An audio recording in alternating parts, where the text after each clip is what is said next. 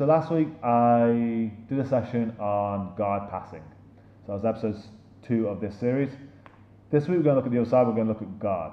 So how can we train guard differently, and how can we use wrestling and the and the thousands of years that they've worked on taking people to the floor? How can we use that idea to actually make our guard better? So I believe there is a defensive posture to guard. The purpose of guard is to first defend the body using the strongest part that we have, the legs.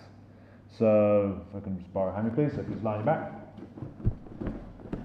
So if Henry's legs are completely straight out here, that isn't the guard. Okay, if I was by his feet here, there's no guard there. His legs aren't threatening me, and I've got complete mobility to walk around him. But his legs are upright here, and they're pointing towards me. I'm now threatened. Okay, even though you can't kick me in jiu-jitsu, there's no up kicks, etc. Genetically, deep down, I don't now want to move as much. So he's actually controlling my mobility mentally. Okay, and wherever I go, his feet will follow. Um, once he's got good mental control over me and my controls my mobility this way, the next thing he wants to look for is physical control. So, sit up, please. Thank you. So, if you look at the idea of boxing and wrestling, both of them involve cutting angles to try and attack someone. So, if wrestling, you want to try and step outside, then hit from the side. Boxing, the exact same thing. You can look at the exact same idea when it comes to jiu-jitsu guard, in that if his legs don't follow me perfectly, that allows me to step around and that allows me to then pass his guard. So his feet need to be able to follow me. He needs to have that dominion over his hips. And that would be his control. After that, he wants to be able to generate a physical control over me. And this way, again, it comes back to wrestling. In uh, the main point of control in wrestling is they want control of the back of my head, so that would be the control of my posture and my spine control of my arms or underneath my armpits, that's underhooks, overhooks, and arm drags, etc. And the last one is control of behind my legs, behind my knees, behind my ankles. So the first part of wrestling, when you actually look at defense in wrestling, is to stop those things from happening. You don't let anyone hold onto the back of your head. You don't let anyone establish good underhooks, a good dragging uh, control of your arms, or good overhooks, and you don't let anyone control the back of your legs. All those things normally involve a takedown. And the second they start, you, you strip them. But pretty much every guard follows this same formula. So you have spider guard, closed guard, half guard, De La etc. All of them at some point follow this. You have to get control of hip space slash armpit slash uh, arm control. You have to control the back of the head, and you have to control behind the legs. Except the difference between guard passing and wrestling is we let people establish a guard and then we try and fight out of it. That's like learning learning single leg defense by only doing letting people get a hold of a single leg and then trying to fight out of it. Instead of having good defensive posture, good hand fighting, and stopping those things happening before, uh, before they even start. So, looking from the other perspective, then, is if I have the opportunity to actually get control of those spaces, I want to make sure there's no gaps and I have full control and I then make the most of it. So how do you train this then? How do you train this idea of guard? So there shouldn't actually be individual guards necessarily. You should be able to follow this kind of formula. So if you're, just like I, was, as I said last week, in that when it comes to passing, you don't have individual passes, you follow a formula of stripping these places and then trying to expose the space on them. The same can be said while playing guard. So initially, he wants to be able to defend his body. He needs to make sure his knees are staying close to his shoulders and his arms are defending his armpits. Exactly as you would in wrestling, you don't let anyone behind your head, you don't let anyone behind your leg, you don't let anyone into this space here. So you defend that first. Secondly, then you fight out when you feel comfortable. And you're to those controls on the other person. So if Henry has guard on Naki, for example, so it's on your knees, is that here, Henry is defending his body. Henry is defending these aspects here, and Naki's doing the exact same. So as Naki approaches, Henry's going to look for those spaces, so either behind the leg, into the armpit area, or behind the head. And this then becomes wrestling. Is that Henry's going to maintain those grips, so go back to it, whilst also binding out for his own. And Naki wants to be able to strip those grips, and then try and find the exact same space on Henry. If Henry leaves that open, so that's the same like um, if I was here with Henry and he got rid of his head and I left my arm like that, that looks pretty stupid. I have no control here, okay? Or if he starts to actually get a better grip over me, like he goes for like a, an overhook or an underhook, that's the exact same. I don't maintain this head grip. I have to return. I have to be able to pummel back out. But we do this kind of weird stuff in guard where we have really poor control over someone, yet we let them back into that space on our own. And that's when passes happen.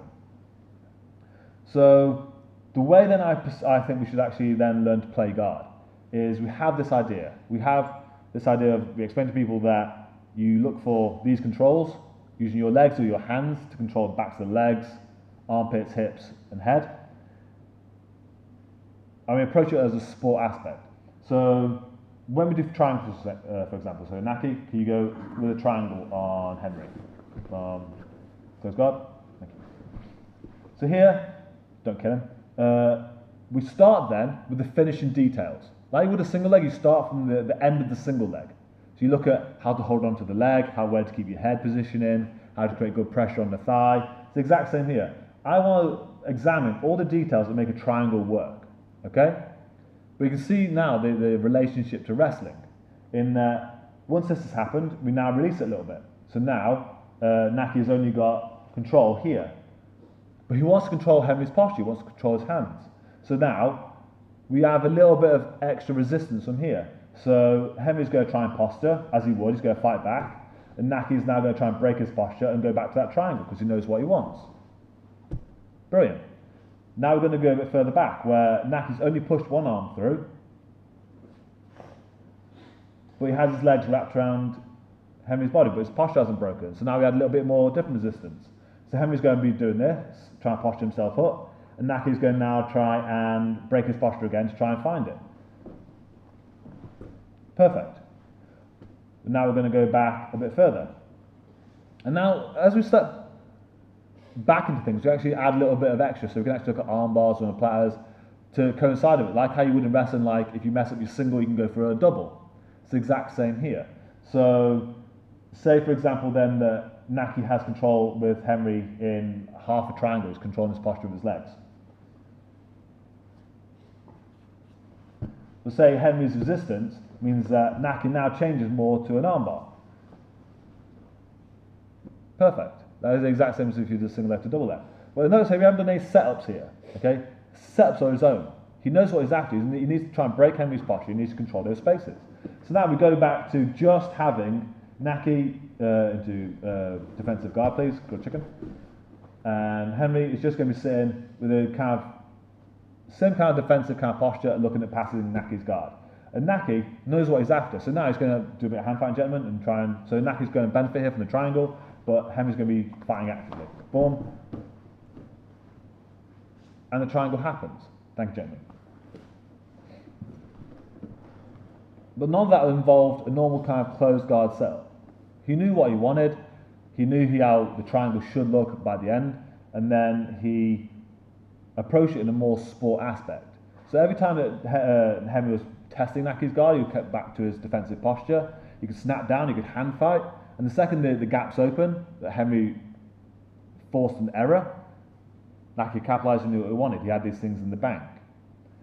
So I think we approach guard wrong. I think having the martial arts way of having specific guards and then a system of guards and a system of passes is inefficient. I think we have end products like double legs, single legs, triangles, guillotines, etc., sweeps, and we have sport-based setups. We know what we want. We want to be able to control people's posture and control these spaces, and the more we control them, the more it allows us to set up our submissions and sweeps. But the second we then feel vulnerable, we release it and return back to A, what is most important, just like in wrestling, control of this space, control of our own posture, uh, distance control, and being able to control their mobility, just even with a bit of um, mental control, just like in wrestling. So I hope they found that in video interesting. I hope uh, even if you've done guard obviously for a long period of time, try and approach these ideas into your guard and tell me if they work or not. I've completely changed how we play guard here. I don't think uh, Henry's one of my blue belts. He's, he's never actually learned guard properly, but he plays a sport band base guard. He's always after the controls. He knows when to release, and makes his guard an absolute fuck to pass. But thank you for your time, and so yeah, send me your questions, and hopefully I'll answer them for next week. Thank you. Boop.